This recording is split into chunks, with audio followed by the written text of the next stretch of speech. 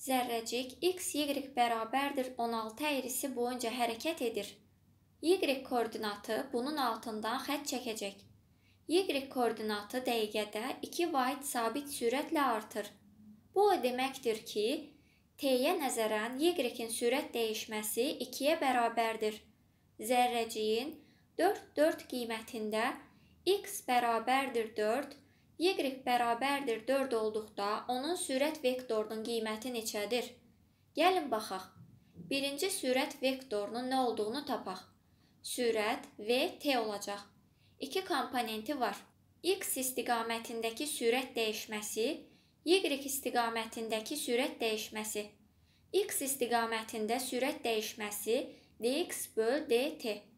y istiqamətində sürət dəyişməsi dy böl dt-dir dy böl dt 2 vahid böl dəqiqədir.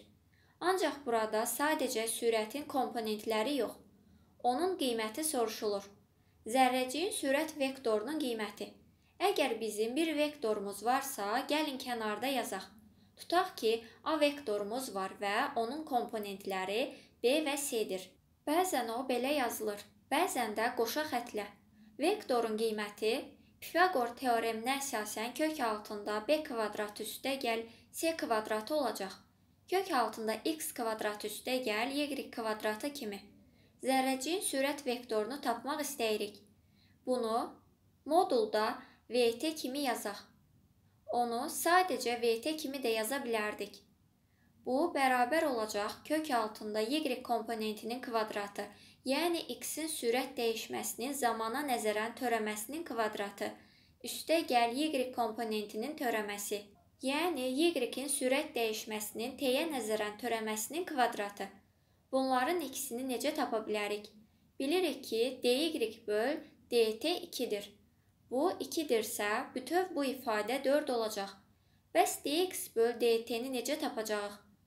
Buna görə əyrini təsvir edən tənliyimizə baxırıq hər iki tərəfin t-yə nəzərən törəməsini alırıq. Bu da bizə dx böl dt və dy böl dt-ni verəcək. Gəlin edək. x, y bərabərdir 16. Hər iki tərəfdən t-yə nəzərən törəmə alaq. Fərqlənməsi üçün fərqli rəng işlədək. Sol tərəfin t-yə nəzərən törəməsi, sağ tərəfin t-yə nəzərən törəməsi. Sol tərəfə iki funksiyanın hasili kimi baxaq x t funksiyasıdırsa, y t də funksiyadır. Bu, hasilin törəmə qaydası və zəncir qaydasıdır. Bu, bərabər olacaq birinci funksiyanın törəməsi. x-in x-ə nəzərən törəməsi 1-dir. Vur x-in t-yə nəzərən törəməsi. T-yə nəzərən törəmə alırıq. x-ə nəzərən yox. Vur ikinci funksiya. Vur y. Üstə gəl birinci funksiya, yəni x. Vur ikinci funksiyanın t-yə nəzərən törəməsi. Y-in y-ə nəzərən törəməsi nədir? 1-dir. Y-in t-yə nəzərən törəməsi nədir? dy böl dt. Bu, sabitin törəməsinə bərabər olacaq, yəni 0-a. Gəlin sadələşdirək. dx böl dt-ni tapmaq üçün qiymətləri yerinə qoymalıyıq. dy böl dt-nin 2 olduğunu bilirik. Zərrəciyin sürət vektorunu 4, 4 qiymətində tapmalıyıq. x bərabərdir 4 olduqda, y bərabərdir 4 olur. Bu biraz qarışıq oldu. Tənliyi həll edək.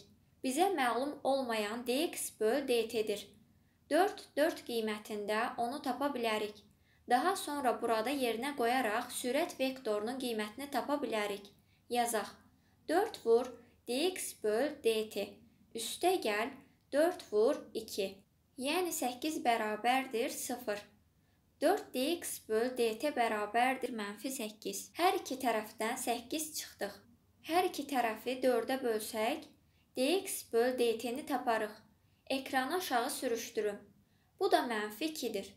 dx böl dt mənfi 2 olduqda kvadratı 4-ə bərabər olur. Beləliklə, sürət vektorumuzun qiyməti kök altında 4 üstə gəl 4 olur bərabərdir kök altında 8. Bunu 4 vur 2 kimi yaza bilərik. O da bərabərdir 2 kök altında 2. Bu, sürət vektorumuzun qiymətidir.